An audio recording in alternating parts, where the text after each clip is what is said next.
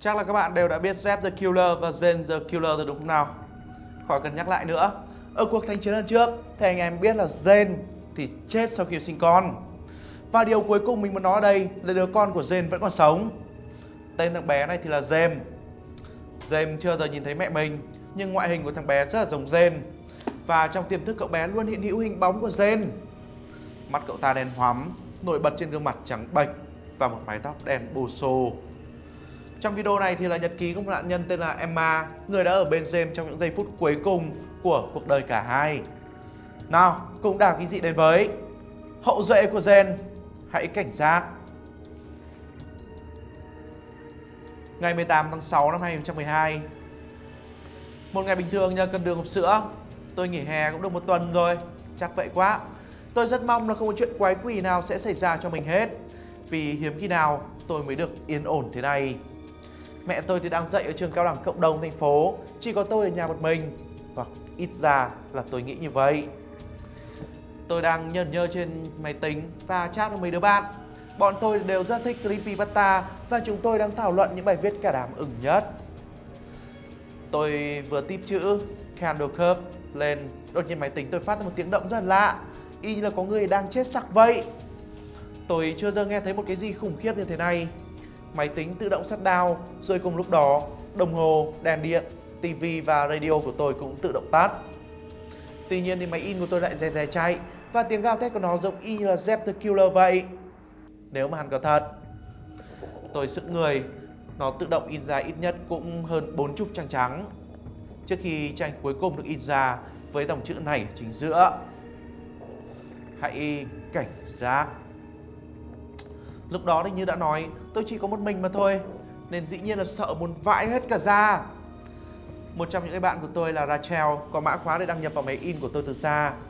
Đại khái kiểu như thao tác không dây vậy có thể kích hoạt vào máy bất cứ lúc nào. Uhm, do chúng tôi đang đọc Creepypasta mà tự nhiên mấy chuyện điên rồ xảy ra. Tôi nghĩ là cô ấy đang phá tôi. Tôi với ngay cái điện thoại sang pin và gọi cho Rachel và tra hỏi cô ấy có đang phá máy nhà tôi hay không. À Rachel này, tôi lên tiếng. Ơ, sao vậy bố? Cô ấy ngạc nhiên hỏi lại. Tôi chỉ muốn hỏi là lúc nãy cậu có đang đăng nhập vào máy in của tớ hay không mà thôi. Không, dĩ nhiên là không rồi.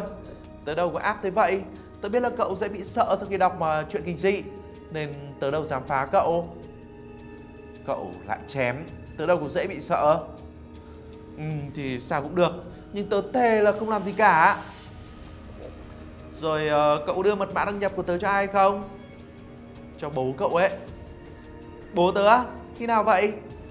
Mới hôm qua Bác ấy nói với tớ rằng bác ấy quên mật khẩu Nên muốn xin lại mà. Chết tiệt Sao cậu ngây thơ phát bực thế hả? Bố tớ đang đi công tác ở Anh cơ mà. Trời ơi là trời Dám cá là cậu đã đưa mật mã tới cho một thằng sát nhân lắm đấy. Sát nhân là sao? Gì mà nghiêm trọng đến như vậy? Tự nhiên thì máy tính với lại đồ dùng điện trong nhà tôi cúp hết. Có mỗi cái máy in là còn hoạt động. Đã thế nó lại còn in cả một đống trang trắng, Rồi trang cuối thì in vỏn vẹn ba chữ. Hãy cảnh giác nữa chứ. Trời ơi, sợ thế. Chúc may mắn nha người đẹp. Sau đó thì là trèo cúp máy. Chả giúp gì được cả. Vô vọng rồi. Tôi nghĩ thầm. Con nhỏ đó đúng là Đã thế lại còn ngàn cân trên sợi tóc mà còn giỡn được. Mà chả lẽ là bố mình nhìn giống một thằng sát nhân làm hay sao Mà nhỏ lại nhầm được? Chắc phải hỏi kỹ lại thôi. Ngày 19 tháng 6 năm 2012 Được rồi Mọi chuyện thì vẫn còn đáng sợ chết đi được. Tới hôm nay mà vẫn chưa có điện lại Sợ quá. Mà chả làm được gì cả. Khoảng vài phút trước, tôi đã gọi cho Rachel và hỏi xem người bố mà cô ấy nhìn thấy thực ra trông như thế nào. Hình như là tên ấy có một đôi mắt màu đen hoắm, nổi bật trên gương mặt màu trắng bệch và cũng có mái tóc đen bù xù. Cô ấy cũng nói là hắn ta cao tầm tầm tôi, khoảng 5 feet, tức là tầm 1 mét rưỡi ấy. Và thực sự thì có lẽ hắn sẽ rất là đẹp trai nếu tên đó chịu ở sạch một chút. Đừng hiểu lầm nhá, là Rachel nói chứ không phải là tôi. Ờ thì hy vọng là mọi chuyện sẽ không quá tệ tôi tưởng Coi kìa Hồi nãy thì TV mới có điện lại Chắc là mọi chuyện sẽ ổn thôi mà Đúng không Cuộc đời tôi rất là bình thường Và tôi chắc là nếu Disney làm phim về tôi thì cái kết đảm bảo sẽ rất có hậu Và sặc mùi hồng phấn. Mà tôi thì cũng không nghĩ rằng đời mình đủ hồng phấn Như mấy cô công chúa Disney đâu. À có ai gõ cửa nữa kìa? Đợi tí, chút quay lại liền. Ngày à, 20 tháng 6 năm 2012 Được rồi, Đây là lần đầu tiên mà tôi nói đúng. Cuộc đời tôi quả là không hồng phấn như bộ phim Disney. Bên ngoài chơi lại sấm chớp đung đung Và tôi đã nhìn thấy tên sát nhân. Phải nói là cậu ta khá dũng cảm Khi tới gõ cửa tôi một ngày mưa gió thế này. Và biết không Đây trẹo nói đúng, Tên này đúng là một Mỹ nam nhân. Dường như cậu ta không phải là tên sát thủ thật, Mà chỉ đến để cảnh báo Và giải thích cho tôi nghe một chuyện mà trước đây tôi chưa giờ có thể ngờ tới. Đại khái thì cậu ta là tay sai, Hoặc còn gọi là lính của một tên sát nhân thực sự. Cậu ta thì cũng cha tuổi tôi, Và lý do tên sát nhân ấy sử dụng cậu Là vì cậu bé này là con trai của một nữ sát thủ huyền thoại Từng làm mưa làm gió trên cả nước Mỹ. Cô nàng Jane the Killer. Cậu ấy không ý định giết ai hết, Nhưng tên chủ cậu ép buộc cậu phải làm như vậy. Cậu bé nói tên là James, Và James nói với tôi tên của kẻ ấy là Samuel Z Tên họ quán phải được giữ bí mật để tránh bị truy sát. Cậu ấy thì hứa là sẽ giúp, Nhưng nếu bị bắt là cả hai sẽ cùng chết. Ngay lập tức là tôi tin lời James và cho cậu ấy số điện thoại. Ngày 21 tháng 6 năm 2012, các bọn chúng tôi thì họp lại và rú rú điện thoại với nhau cả đêm.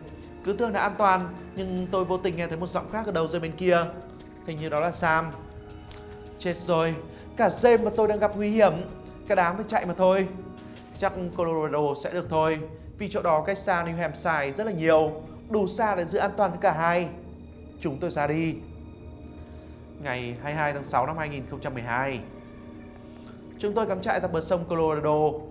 Ban ngày thì khách du lịch tới ghé thăm, nhưng ban đêm thì chỉ có chúng tôi một mình với nhau.